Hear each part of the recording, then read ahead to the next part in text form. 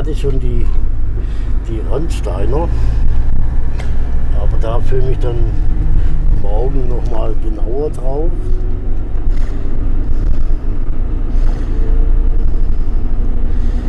Ja, dann kommen wir jetzt hier gleich in den nächsten Bereich.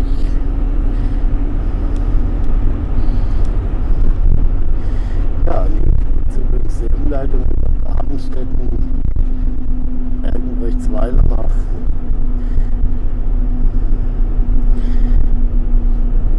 nach Oberlenningen. Ja, jetzt haben sie hier sogar noch halbseitig gemacht, also das ist ja noch ganz klasse. Das heißt, wenn jetzt hier ein LKW kommt, der kann da gar nicht rumfahren. Der UPS-Bus, ja, der kommt vielleicht gerade noch hier vorbei. Also gestern haben wir hier eine Situation gehabt, da ist ein LKW gekommen und da war auch ziemlich eng, also und ich zeige es euch mal. Also hier geht es dann doch ein bisschen bergab hier.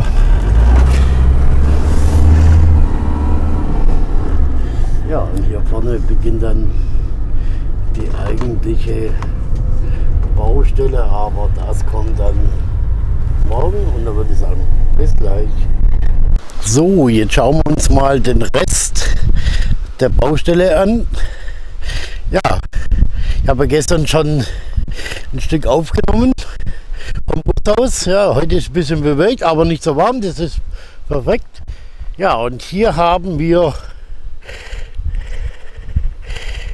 die Heidestelle, ihr könnt es lesen, Abzweig Schlattstall. Da halten die Buslinien 176 und 177.1, aber der untere ist nur ein Rad- und Wanderbus und fährt so gesehen nur vom Mai bis Oktober. Ja, und hier ist eine Haltestelle. Man soll es nicht glauben, Leute. Ähm,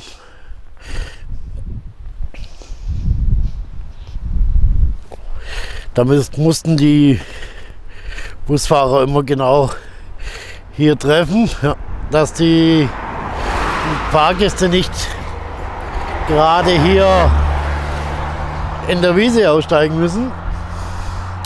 Ja, jetzt sehe ich gerade hier Linien. Ich hoffe natürlich nicht, dass die jetzt für die neuen Steiner sind, für die Haltestelle. Ich hoffe, dass die da noch ein bisschen weiter reingehen, dass also richtig, richtige Busbucht hinkommt. Man könnte sie auch eigentlich weiter hierher, weiter hier rüber verlegen, weil da wäre ja eigentlich Platz genug. um eben hier eine Busbucht hinzumachen, weil hier geht es ja schon wieder runter. Das wäre natürlich nicht so gut. Aber nur so andeutungsweise, wie man jetzt hier sieht, ja natürlich ein bisschen blöd.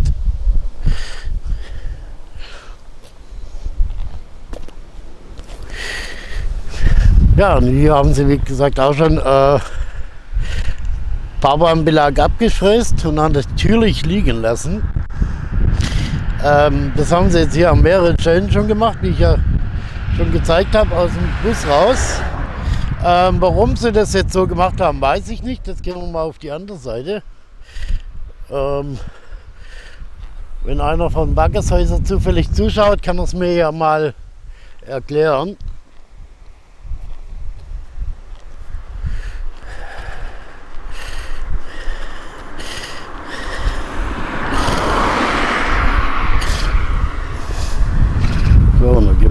Rüber.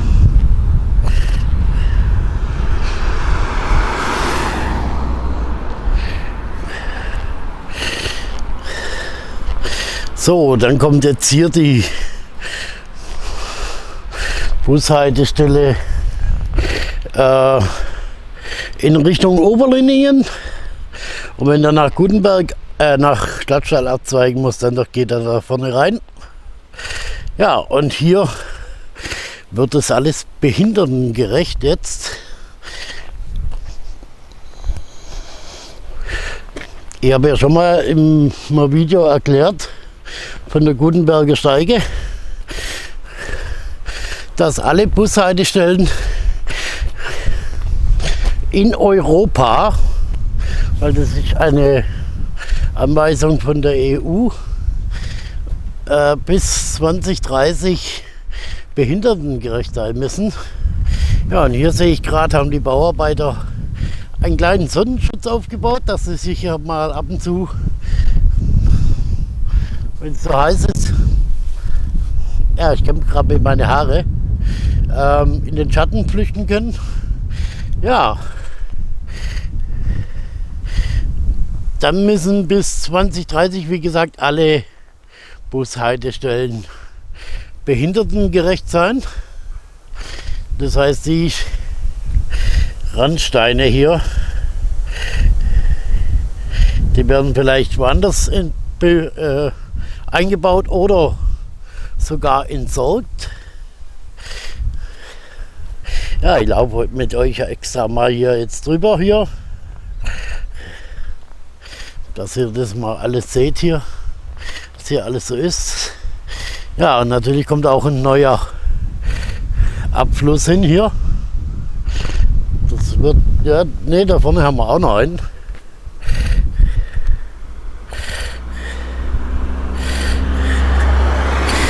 Den habe ich jetzt gar nicht gesehen. Also hier kommt auch noch ein Abfluss hin. Also eine Dole so gesehen.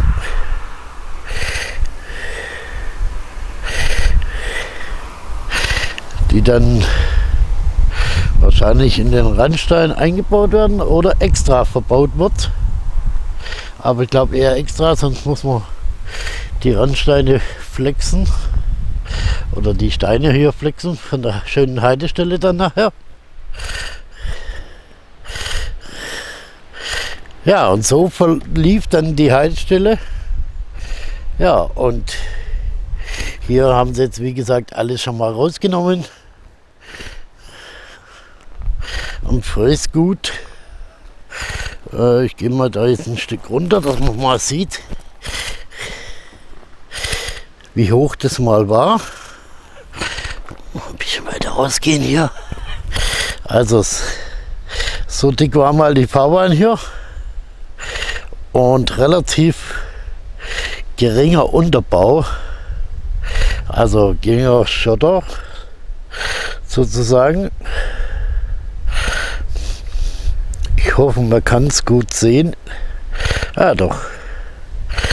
Also ich schätze mal so 30, 40 Meter Schotter, äh, Zentimeter Schotter. Und dann kommt schon die, der Unterasphalt. Jetzt komme ich natürlich nicht auf den Namen. Und dann kommt die Asphaltdecke und die Asphaltdecke selber hat ungefähr 5, äh, 10 cm, 15 cm. Das seht ihr hier an den weißen.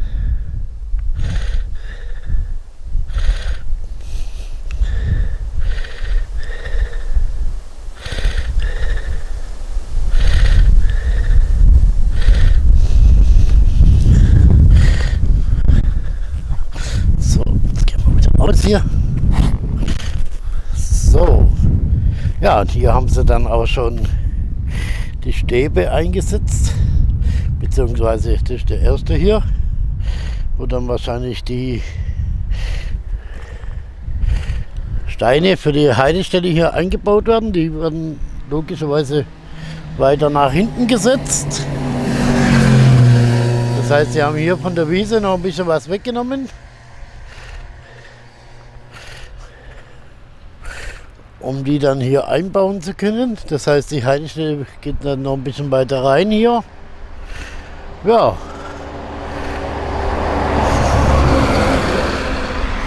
Und dann schauen wir uns das Ganze mal da vorne von aus an, wo jetzt der Bagger noch arbeitet. Ich hoffe dass, natürlich, dass sie jetzt heute im abgesperrten Bereich nicht arbeiten. Ansonsten gucke ich halt, dass wir aus der See mal durchfahren dürfen zum Video machen. Ja, und dann würde ich sagen, sehen wir uns gleich wieder. Bis gleich. So, jetzt bin ich ein Stückchen weiter. Also, jetzt sind wir hier, wo der Bagger praktisch ausheben tut.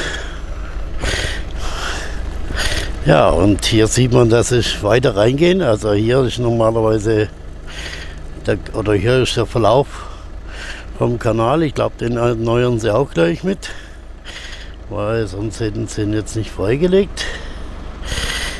Ja, weiter vorne, da sind sie schon wieder am Verfüllen. Das heißt, da wird Schotter, Schotter eingebracht. um dann das Ganze wieder zuzumachen. Und wie gesagt, ich denke mal, hier werden sie den Kanal auch noch erneuern, also für die, für die Dole hier, weil da steht etwas 1 plus 600 57.89 Rinnen anfangen oder Rinne anfangen. Ja, und das heißt wahrscheinlich, dass sie hier anfangen mit der Rinnen, Rinne zu erneuern, weil hier gibt es dann anscheinend keine mehr. Weil hier ist ja dann gleich Ende hier. Weil hier vorne kommt ja der Abzweig nach Grabenstetten. Ja, und dann gehen wir mal auf die andere Seite hier.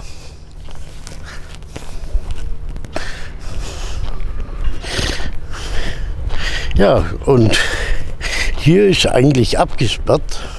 Warum sage ich eigentlich? Weil ich gerade hier eine Reihe von Fahrzeugen durchgefahren sind. Unter anderem äh, ein Transporter von der Firma DBB, also Deutscher Paketdienst. Ja, und die dürfen wir einfach durchfahren. Ja gut, dann würde ich natürlich hier auch mal durchfahren. Aber vorab fange ich hier mal schön an. Und da würde ich sagen, laufen wir mal schön hier rein. Und schauen wir mal, was auf den Zettel hier steht. Und vor allen Dingen haben sie ja hier schon äh, Eisen hingemacht, um anzuzeigen, wo dann hier der Randstein hinkommt. Also der kommt hier ein bisschen weiter außen hin. Ja, ich hoffe mal, dass sie hier auch eine Leitplanke hinmachen, weil hier ist ein bisschen abschissig, wenn man jetzt mal hier den Weidezaun so sieht. Dann sieht man, dass der Weidezaun wesentlich tiefer ist als hier der Schotter. Und da kann man dann hoffen, dass die hier ein wenig oder eine Leitplanke hinmachen. Ja, und hier steht dann, da kommen dann auch wieder die Zahlen. Ja, und dann steht hier Rinne Ende.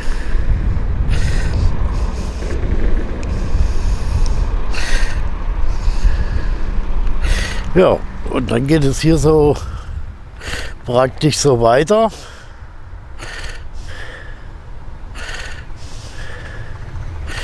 Und das Ganze wird hier praktisch erneuert. Also alte Fahrbahn praktisch raus hier, neue rein. Ja.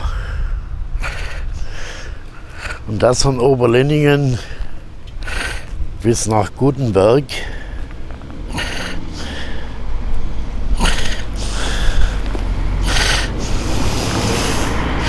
Also da haben sie Arbeit und laut dem Schild weiter vorne vor der Bushaltestelle stand vom 28.07. Da muss ich natürlich sagen, da stand vorher 1.8. Haben sie dann jetzt überklebt. Ja, und dann bis 11. September also da bin ich dann auch mal gespannt, ob sie das überhaupt schaffen. Ja, und dann würde ich sagen, ich fahre mal hier ein Stück weiter durch. Weil wenn andere durchfahren, kann ich auch durchfahren. Weil ich habe gedacht, sie arbeiten heute nicht, aber jetzt arbeiten sie doch anscheinend. Aber wahrscheinlich nicht hier in dem Bereich. Ja, dann würde ich sagen, sehen wir uns gleich wieder. Bis gleich. Ja, da vorne haben sie da auch schon angefangen. Also da stecken dann praktisch auch schon die Eisen drin. Also ich denke mal, dass vielleicht die Straße sogar noch ein bisschen breiter gemacht wird. Das wäre natürlich nicht schlecht, weil das ist ja eine Bundesstraße hier. Und eine Fahrbahnbreite von, weiß gar nicht, wie viel die jetzt hat. Aber das kann ich ja geschwind abmessen, weil hier ist ja noch die Linie. So. Eins, zwei, drei Meter hat die. Also denke ich mal, dass sie die ein bisschen breiter machen, weil der neue Serion, wo der Ansgar gefahren ist von M-Play, also den grüße ich dann auch mal auf diesem Wege. Ähm, der hat den Serion oder den Vorgänger vom neuen Serion gefahren und der hat eine Breite von knapp drei Metern. Also wäre das ein bisschen arg knapp, weil der neue hat, glaube ich, knapp über drei Meter. Also muss man da langsam mal anfangen, die Fahrbahn hier ein bisschen breiter zu machen. Ja, und hier kommt eine Dole rein schätze ich mal. Oder ist es nur für die Dohlen, dass man weiß, wo die, äh, der Kanal dafür gelegt wird. Lassen wir uns überraschen, aber natürlich ein bisschen breiter wäre natürlich auch nicht schlecht. Ja, und dann schauen wir mal in die Richtung hier vor. Also, da vorne das nächste. Ja, und hier geht es natürlich auch immer so weiter. Hier haben sie was abgedeckt hier.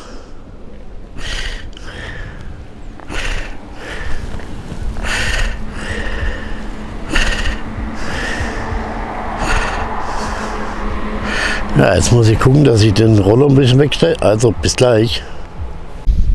Ja, bei meiner letzten Auf, äh, Aufnahme bis jetzt hierher hat sich mal nichts mehr getan zwischendurch. Ja, und jetzt haben sie hier wieder angefangen. Und glaube, jetzt ich mit euch einfach mal ein Stück nach da vorne.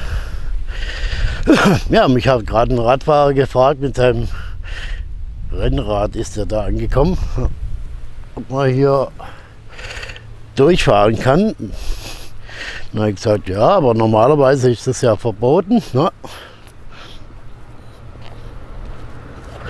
Ja, dann hat er gesagt, er geht auf den Feldweg. Aber jetzt ist er doch weiter geradeaus gefahren. Aber naja, gut. Kann jeder machen, wie er möchte. Ja, sind ja alt, alle alt genug. Ja, und bei mir sagen die meisten schon gar nichts mehr. So, hier hat man den Asphalt übrigens zwischengelagert. Der muss ja speziell entsorgt werden. Ich glaube, wenn nicht alles durch beim Asphaltwerk.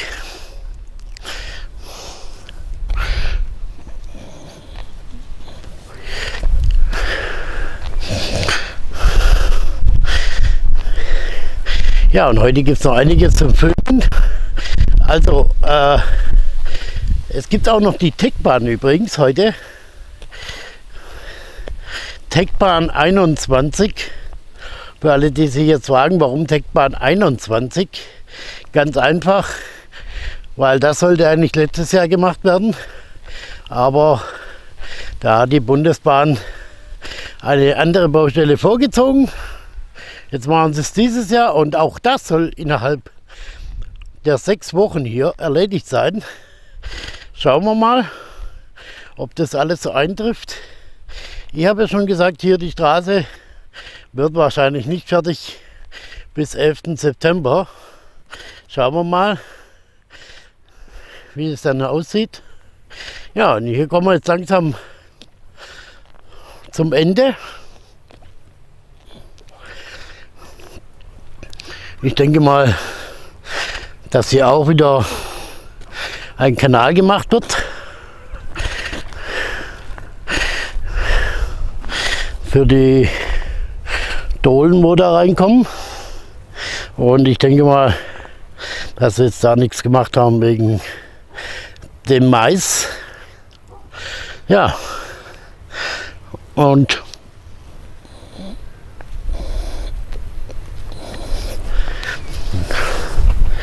der Mais ist schon meiner Ansicht nach auch zu früh dran. Also wer Landwirt ist, darf mir es gerne mal sagen ob das so ist oder nicht. Weil normalerweise, ich glaube, kommt er Ende August, Anfang September, glaube ich. Aber ich kann mich auch täuschen. Also, der ist definitiv auch zu früh dran. Ja, zeige ich euch mal hier ein bisschen die Landschaft hier. Das sind übrigens die sogenannten Streuobstwiesen die es eigentlich nur hier, glaube ich, nur in Baden-Württemberg gibt, die auch geschützt sind. Und auf den Streuobstwiesen, da dürfen eigentlich nichts anderes stehen, außer Bäume. Ähm, und vielleicht noch eine Hütte zum Werkzeug unterstellen.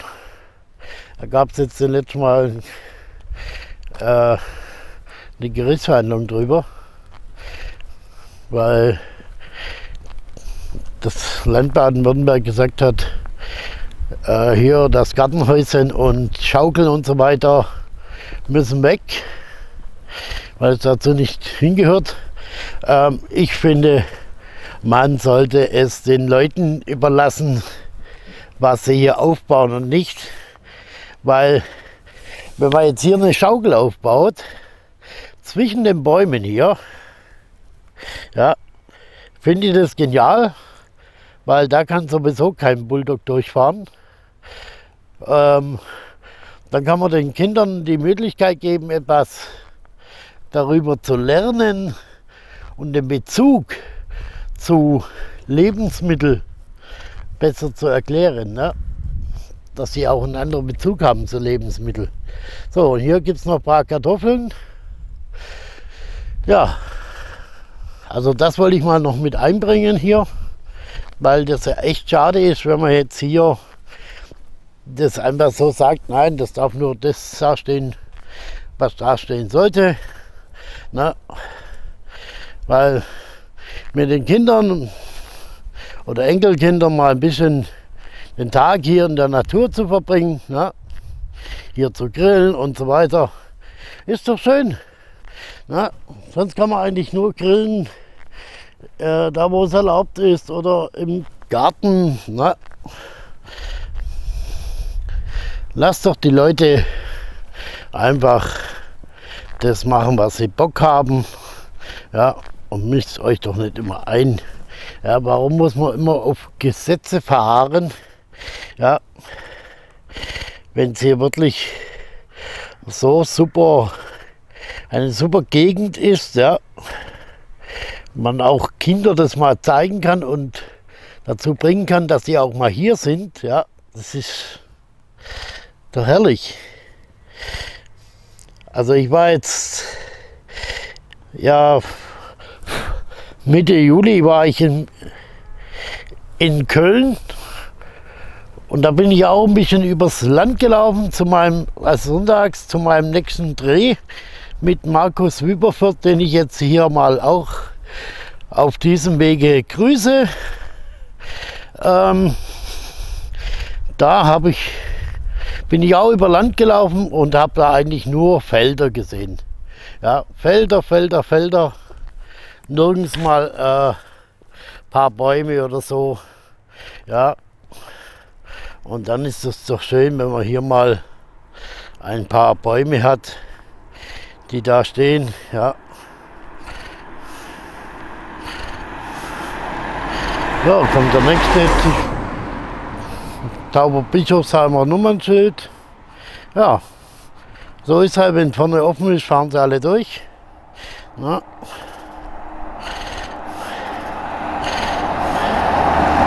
Offenburger ist der Wahnsinn. So, jetzt bin ich wieder da, wo ich losgelaufen bin und dann würde ich sagen, sehen wir uns gleich wieder. Bis gleich. So, jetzt bin ich praktisch kurz vor Gutenberg. Ja, und hier schon wieder Ende von dem Abschnitt hier. Ja, wenn mir einer sagen kann, für was die Zahlen sind. Ich kämpfe gerade übrigens mit meinen Haaren. Sind einfach zu lang. Aber ich möchte jetzt nicht immer einen Haargummi reinmachen, wenn ich dann gleich wieder den Helm aufziehe. Ähm, da wäre ich euch sehr dankbar, aber ich denke mal, für die äh, Rinne sind diese Stäbe nicht. Ich denke mal, dass da der Randstein hinkommt, dass sie die einen halben Meter breiter machen, die Fahrbahn. Also, dann laufen wir hier einfach mal das Ganze hier ab hier.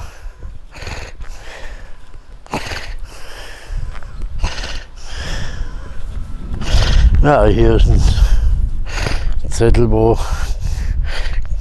Fujikado ist, sage ich mal, auf gut Deutsch gesagt.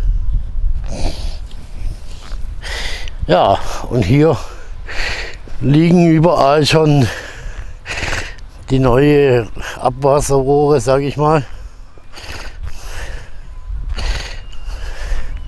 Also ich denke mal, dass das jetzt hier die Vorarbeiten sind und dass dann demnächst hier die komplette Straßen, der Stra komplette Straßenbelag, sage ich mal, verschwindet.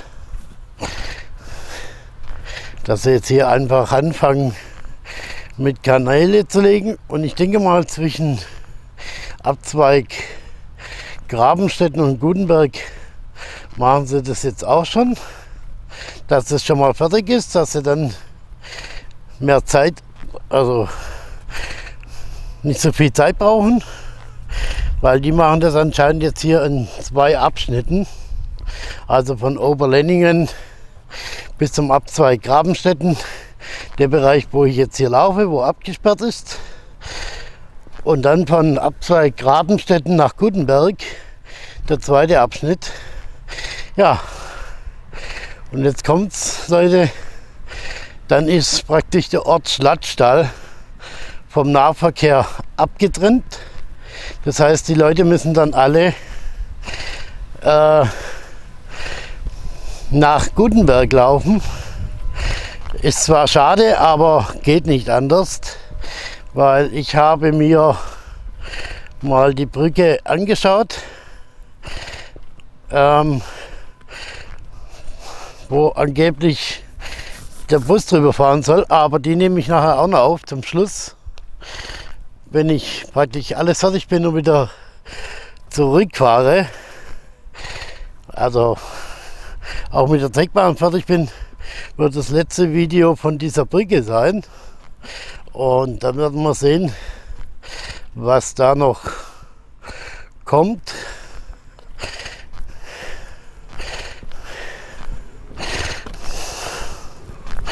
Also auf jeden Fall bis hierher ist es schon mal alles gelegt. Ja, und ihr seht schon an den Häusern hier, ich bin jetzt kurz vor Gutenberg. Da vorne fahren die Autos wieder praktisch vom Feldweg auf die Straße. Was normal nicht erlaubt ist, aber gut. Ja, und hier haben sie schon einen Schacht eingebaut. Also komplett neu. War hier eigentlich noch nie auf der Straße. Ein Schacht. Ja, und hier sind die Ringe dazu. Also für die anderen Schächte noch, wo da hinkommen. Ja, und hier ist überall abgesperrt. Ja, und da vorne geht es übrigens auch weiter.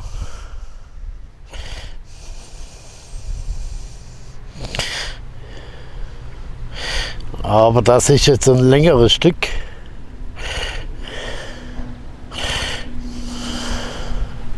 Und das zeige ich euch jetzt mal bloß von hier aus.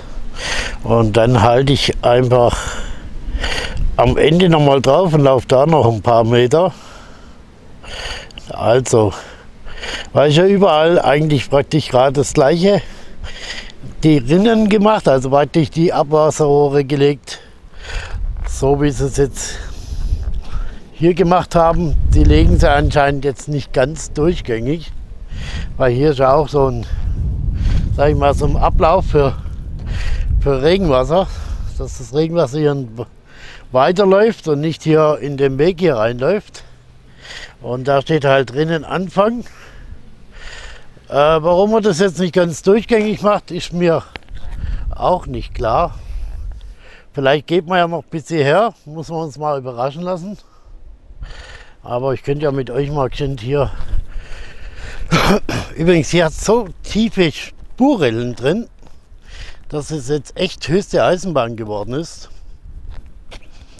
Ja, dann kann ich euch jetzt noch was zeigen, was wirklich Geldverschwendung ist. Ja, ihr habt es richtig gehört. Geldverschwendung. Ihr seht schon jetzt im Bild, das zeige ich euch jetzt hier einfach mal, was ich meine. Weil da würdet ihr mir wahrscheinlich recht geben dass es einfach Geldverschwendung ist. Jetzt hier an der Seite neu asphaltiert, weil es so aussah wie hier jetzt rissig und ein bisschen abgebrochen war, also noch schlimmer als hier. Ähm, obwohl man gewusst hat, dass dieses Jahr die Straße neu gemacht wird. Ja, hat man das jetzt hier gemacht und jetzt kommt's. Beim ersten Mal hat man das so gemacht, dass es absolut wellig war. Das heißt, es war absolut, also ging gar nicht.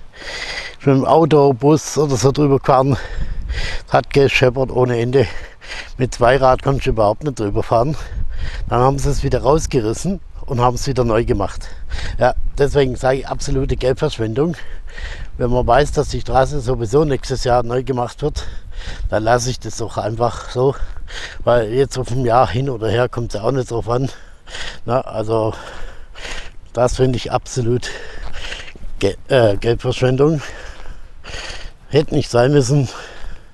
Aber gut, so ist halt. Ja, und hier gibt es dann einen Graben, den zeige ich euch gleich auf dem Rückweg.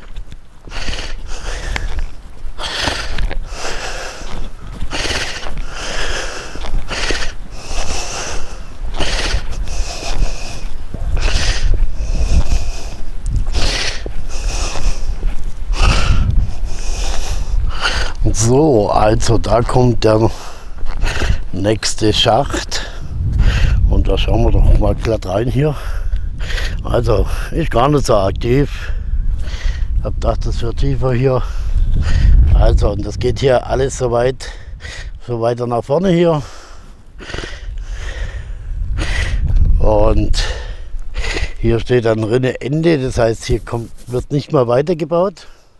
Schade finde weil hätte man hier auch weitermachen können, dass hier das Wasser nicht mehr steht, aber vielleicht tut man hier ein bisschen rein asphaltieren, dass hier das zumindest zu ist hier, weil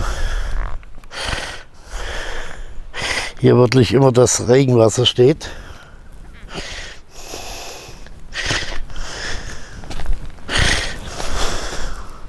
Ja, und hier sind Kürbisse eingepflanzt worden.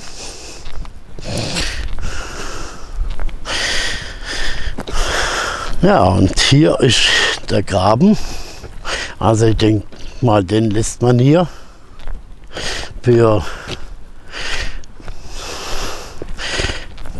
den für das Regenwasser hier. So, und dann gibt es hier eine Einfahrt zu dem Feld hier. Ja, und da sieht man schon die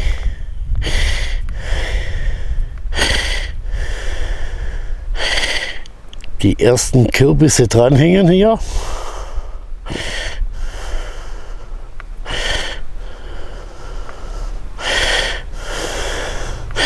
Aber bitte dran lassen. Gehört den Leuten, wo das sie angepflanzt haben. Lieber erst fragen, und dann ein bisschen was bezahlen, dann abmachen, ist okay. Aber bitte nicht klauen. So, das wollte ich dann auch mal kurz noch erwähnen. Ja, und hier ist dann praktisch der Graben hier. Die natürliche Regenrinne, sage ich immer dazu.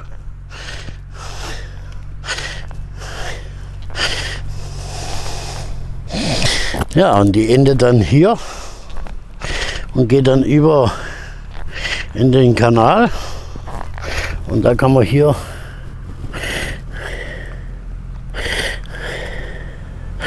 ja, ja habe ich drauf.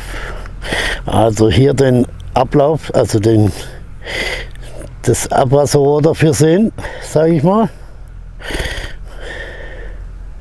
Und das lief dann praktisch so schräg rüber hier.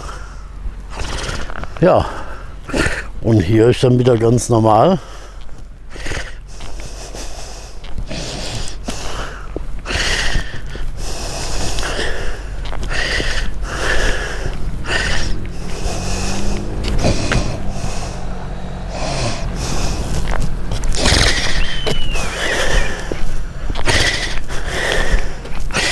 Und dann sind wir schon wieder hier und da würde ich sagen, dann melde ich mich gleich wieder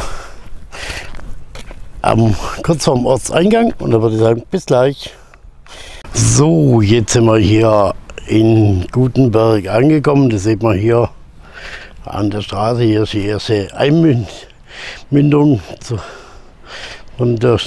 vom Ort Oberlenningen. Ja, und hier sehen wir noch ein paar ja, Oberteile für die Dohlen. Ja, und hier haben sie schon einen eingebaut. Ja, und ich denke mal, wie gesagt, entweder machen sie eine kleine Mauer hin oder sie machen den Randstein ein bisschen weiter nach hinten. Das muss man sehen. Ja, da haben wir den Stab.